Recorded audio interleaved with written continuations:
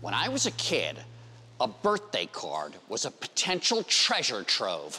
I'd immediately rip the envelope and open the card to see if there was any surprise money in there. Now, apparently, these cards also had words in them, usually something rhymey. I'm not really sure because I shredded the card looking for a $5 bill. Well, now, two innovators want all cards to have a surprise inside. Meet the princes of the pop up. Here's Alie Ward to explain. This is Wombi Rose, and this is John Wise. Together, they create unique greeting cards through their company, Lovepop. Trained as naval architects, Wombi and John saw parallels between the engineering of ships and the engineering of meticulously crafted cards, prompting them to leave the world of shipping to innovate in the greeting card space. I traveled to Boston to meet them, and as you might expect at a company with love in the name, Hi. We're huggers. Oh, okay, Hello, welcome to Lovepop. Really nice to meet you. Hi, John. walking through their workspace, I saw cards ranging from boxers to bears to boats. Oh my gosh, look at that. As a ship designer, I designed ships. I built patrol boats for the Coast Guard and Navy. I've worked on everything from yachts to container ships to offshore oil rigs to military vessels.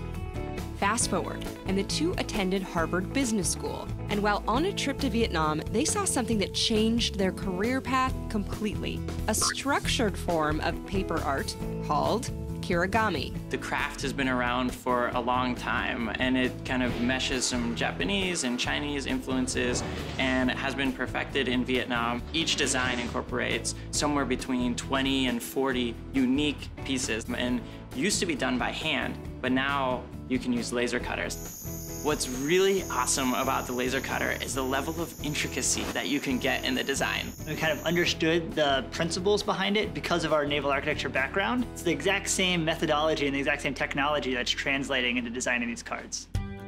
To date, the team at Lovepop has created 300 designs. It really starts with sketching, then it goes into 3D, then it goes into 2D cut files, then it's prototypes, production testing, more prototypes, and finally we send it to production, packaging, and then launch it. All the pieces are cut by machine, but then it's entirely assembled by hand.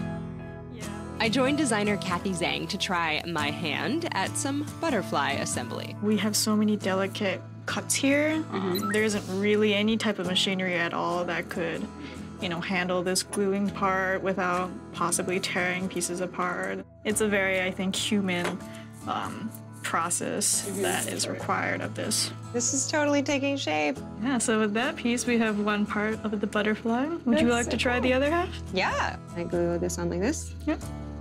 Ta-da! Ta-da! And then it's a butterfly. Whether butterflies, dragonflies, or anything you can dream of.